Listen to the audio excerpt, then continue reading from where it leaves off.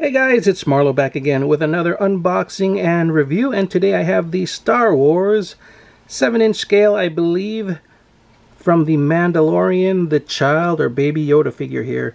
Now this is supposed to be an electronic figure, again it's supposed to be about a 7 inch scale figure and uh, also a plush so I know there's another plush that has been released previously, a little bit bigger than this. Never bothered with that one. It was kind of cool, but a little bit I don't know, just not to my liking. But this one I like a lot better. I like the scale.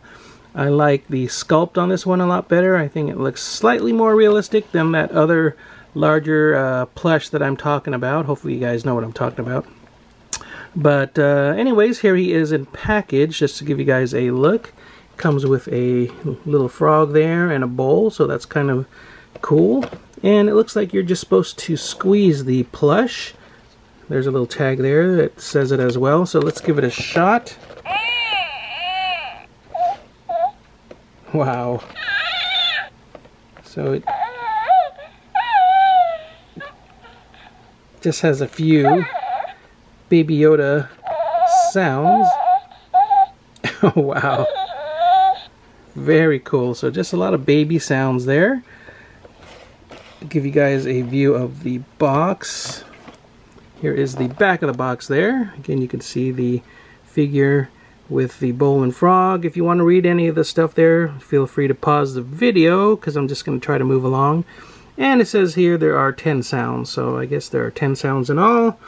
And I wonder if he interacts with the accessories somehow. So we'll give that a shot later and see if that is something that uh, comes along with the figure as well. So Again, I read that it's supposed to be 7-inch scale. Let's see how he sizes up with my ruler. So, in package, he's a little bit over 7 inches, but that is in package, as you can see. So probably out of package, he is around a 7-inch scale, so we'll take a look at that in a second. So let me go ahead and take out the child Baby Yoda out of the package and get a closer look at the figure in hand. And here we have the child or Baby Yoda out of the package, and he looks pretty cool, I must say. Wow.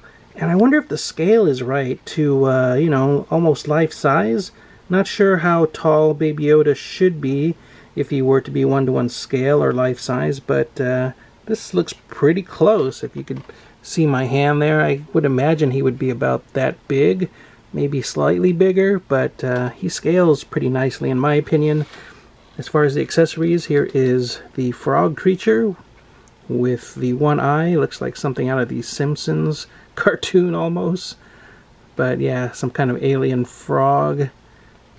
And yeah, there's no articulation, just a solid plastic piece. And as far as I can tell, there's no kind of electronic interaction that goes on between the accessories. Here is the bowl. It appears to be just a solid piece of uh, soft plastic, kind of almost rubber-like. And I wonder about those two holes at the bottom. That's kind of curious. Why did they do that? So kind of weird. Because, uh, I mean, if the bowl was designed that way, you would think the, uh, the contents or liquids would just drain through. So I don't think they're supposed to be there. Just kind of weird that they did that. I don't know. I like to customize my stuff. I might go ahead and putty those up, close them, and maybe put something in here to make it look a little bit more realistic and add some more texture to the wood there. As you can see, there is some wood grain to the bowl. If I can get it to focus, yeah. You can see a little bit of texturing going on there. And the frog, once again, don't know if I had it focused, but hopefully you get the idea with the frog. I guess he can also hold the frog in hand. His hand looks to be posed in a position for holding, maybe even the bowl. So maybe I'll try that out in a bit, but let's look at the figure. Again, the details up close for you guys who are curious. Nicely painted, details are nice, sculpt is also cool.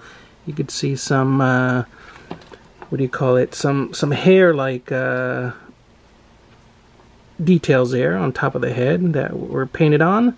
Again, if you like to customize, I might even try to put some uh, hair-like uh, material on the top if I can pull that off somehow. maybe some cotton and, you know, like lightly dab it on top of his head. The bottom of the figure, they're just some plastic pieces. I guess the whole arm is plastic, goes up to the shoulders as far as I can tell. Of course, the head is, and the feet, yeah, just kind of goes up to there. Hopefully you can see that where my finger is. The rest is just plush. And again, there is some plastic in the center area because as you can see there's a compartment in the back for the electronics. I imagine if you wanted to switch out the batteries, let's see. How do I do this? Is it a zipper? Let me put the camera down. I will need two hands for this.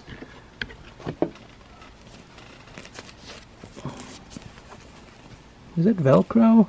Yeah, Velcro as you can see. There we go. So there is an access portion to the figure. Okay, it's mostly plush. It's kind of just a little ah! plastic voice box inside there. That's, of course, push activated. So I would imagine, you know, you would have to access a part of that to switch out the batteries. So again, you can hear some of these sounds as I'm squeezing the plush.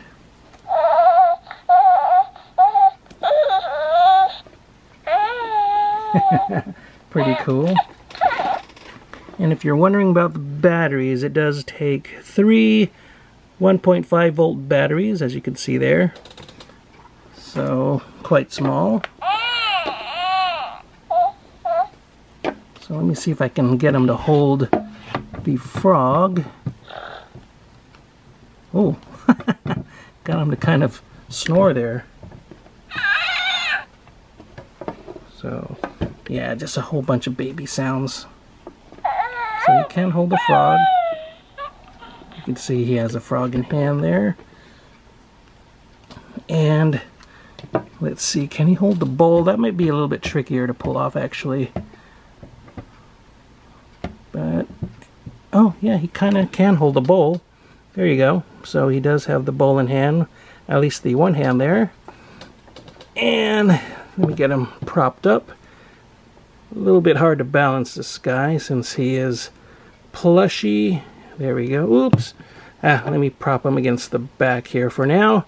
And get the measuring stick once again to give you guys a good measurement.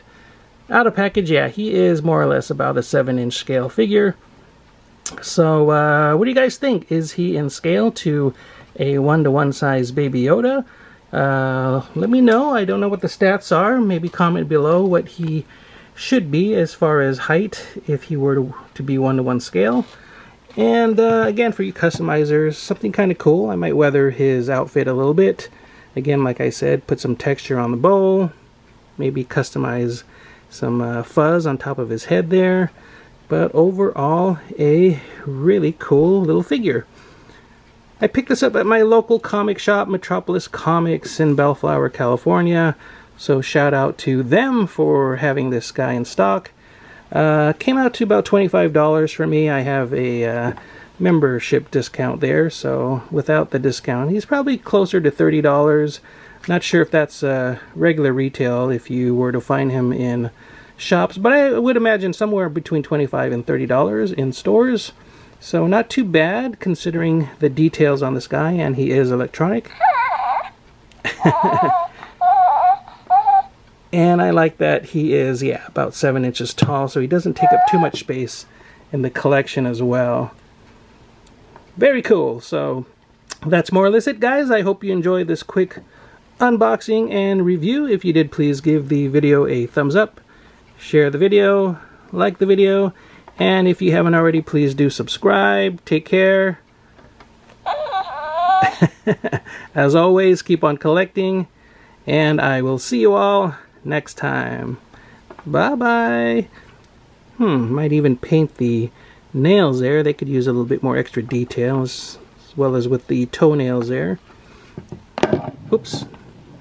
So that's it as far as underneath. Very cool.